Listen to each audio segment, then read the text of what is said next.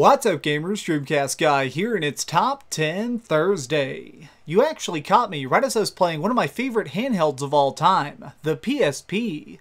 This thing has great graphics, smart design, and an incredible set of games. From hardcore RPGs to great open world action titles, this thing really has it all. But today, we're going to try and do the impossible and count down the best of the best on my list of the top 10 must play PSP games.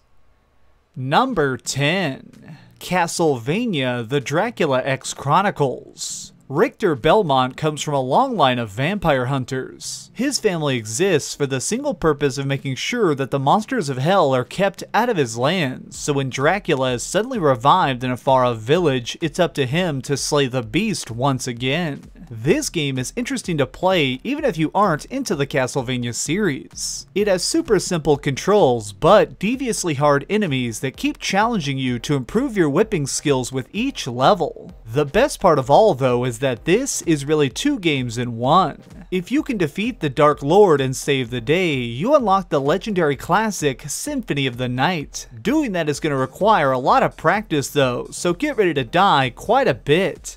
Number 9. Resistance Retribution. When the PlayStation 3 was first being shown off, we got an early glimpse of a daring new franchise called Resistance. While other shooters of the era were all about blasting aliens or delving into World War II, uh, this series went in a totally different direction, creating an alternate timeline where mankind is being wiped out by mysterious mutants. For the PlayStation Portable, they decided to do a spin-off that let us take on the role of a soldier who's basically gone mad after the death of his brother. It's our mission to break into Chimera strongholds and blow them up from the inside one by one. What I love most about this game was the wide range of foes we get to face. From simple ground troops to wall climbing snipers and even living bombs, you'll always need to make sure to have a lot of ammo and stay on your toes.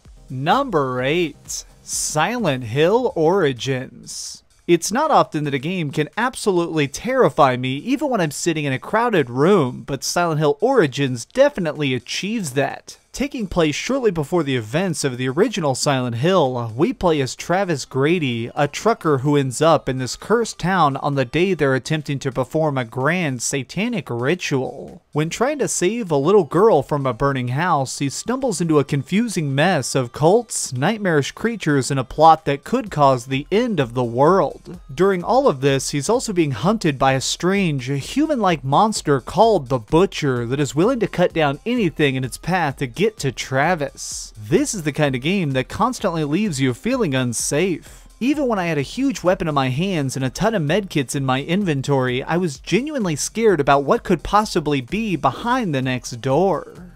Number 7. God of War Chains of Olympus. Kratos, the killer of gods, wasn't always a free man. When he was first given his amazing powers, he was forced to do 10 years of service to the deities of Olympus in payment for the strength he was given. When Helios, Lord of Light, goes missing, the world is covered in darkness, and now our angry hero is assigned the difficult duty of finding him and bringing light back to the universe. This of course means that he'll have to battle basilisks, crush cyclops, and generally get himself in some bloody bad trouble. This game works so well on a handheld because all fights are extremely fast. You're traveling from place to place, breaking bones and gaining experience, all without having to sit through long cutscenes. It's the best parts of God of War without any of the nonsense. If you're craving insane action that you can carry in your pocket, this is the title for you. Number 6. Patapon 3. Imagine if somebody managed to take the high energy of something like Guitar Hero and the intense strategy out of a title like Warcraft and molded them together into their own game. What you'd end up with would surely be similar to Patapon. While I think the first two entries in this franchise are awesome, this is where the gameplay was truly perfected. Control is very unique in this game because you don't directly interact with your party. The little guys you command only know what to do when you play the correct beat. Essentially, this means that by tapping out songs, they'll know when to attack, defend, or use special moves. It may look simple on the surface, but the combat is fascinatingly complex. Building a balanced army is important, and you can customize everything to fit your playstyle. There's a bizarre joy to watching these tiny units clash in the field, earning them cool upgrades and new ways to fight. Sony, if you somehow see this, seriously, give us another title like Patapon. Number 5. Grand Theft Auto Vice City Stories a great spin-off can be rare. Normally, when companies start trying to branch out established plot lines, the final product can feel watered down or not as fun.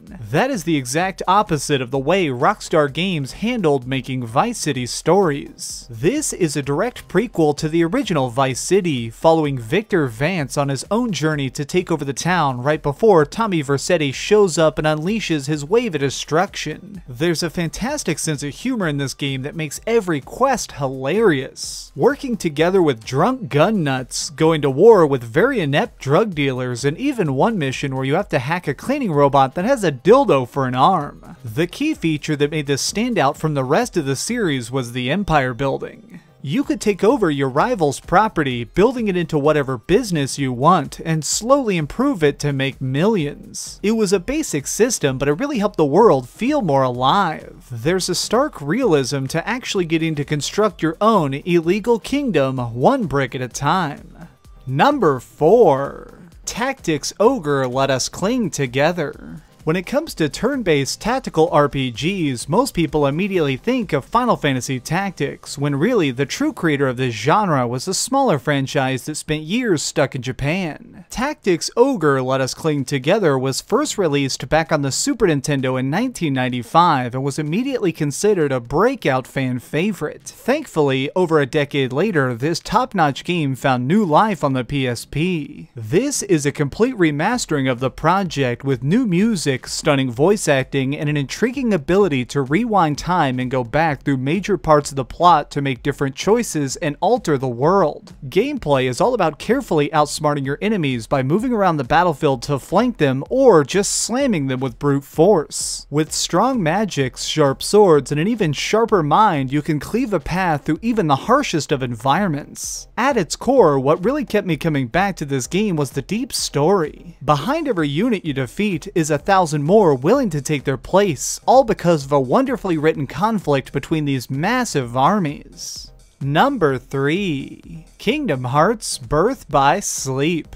I really respect the developer who can take an older idea and do something completely unique with it. Kingdom Hearts has certainly had its fair share of side stories, but this one will always be the one I liked most because it told its tale in such an intriguing way. There isn't a straightforward hero in this game, but instead a team. These three students are training to become Keyblade Masters. While they all may be taking the same classes, they actually learn to fight in very different ways. Whether it be going flat out crazy in physical combat or taking things ranged with hardcore spells, you choose a character and stick with them and make sure they don't get completely overwhelmed by waves of monsters. The blend of Final Fantasy's style, Disney worlds, and intertwining plots makes for a gameplay experience that is totally one of a kind. For those of you who love going on adventures with friends, there's even a bonus mode that lets you play co-op with friends on nearby PSPs. All around, this is a title that works beautifully on its own or as part of the bigger Kingdom Hearts universe. The only downside is you may need to stay close to your charger cable because once you start, there's no way you're going to want to put it down. Number 2. Metal Gear Solid Peace Walker. Hideo Kojima has crafted many masterpieces in his career, and yet somehow Peace Walker still ranks among his best work ever. In this, Big Boss has just left the military and decided to form his own squad outside the boundaries of other nations. They wouldn't worry about politics or laws, all that mattered was getting missions done and saving everyone they could. When a weird group of hyper-advanced soldiers begins showing up in Costa Rica, Boss and his troops fly in to check it out. What makes this game functions so brilliantly as a handheld stealth game is that each objective can be done in less than 10 minutes. While the overall story is built into hours of intricate character interaction, missions themselves can be beaten in a relatively short amount of time. The real test is finding ways to score a good rank on every map to earn the true ending. Staying out of sight, avoiding unnecessary violence, and capturing targets can improve your points and unlock badass weapons to take into later maps. Honestly, Peace Walker is just one of those games that's more fun the longer you play it.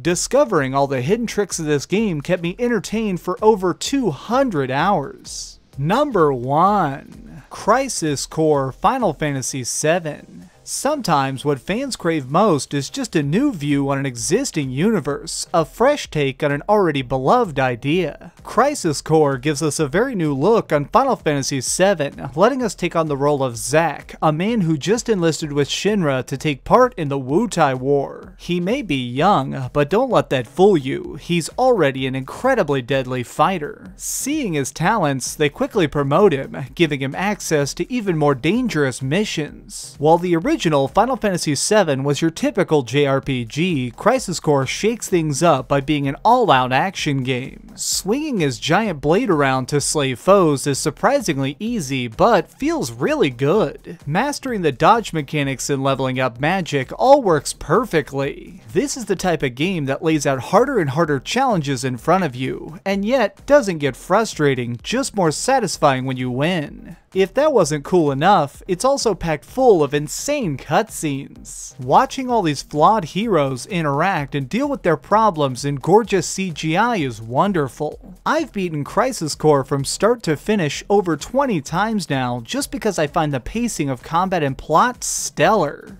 for its phenomenal battle system, interesting story, and hundreds of fun side quests, I'm awarding this my pick as the PSP game absolutely everyone should play. Did your favorite game not make the list? Got an idea for a future top 10? Leave it in the comments down below. If you enjoyed this video, please give it a thumbs up, share with your friends, and subscribe if you haven't already. But do me the biggest favor of all and keep dreaming. Now I need to hurry up and get started on my research for next week. We're going to be talking about horror games for the rest of the month, and I want to start out with this special translated version of Clock Tower. This is the original Clock Tower, only released in Japan.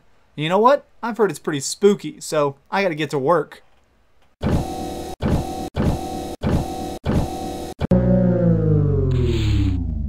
Thanks so much for watching. If you liked this video, maybe check out my last video. Please subscribe, and if you want, share this somewhere with your friends.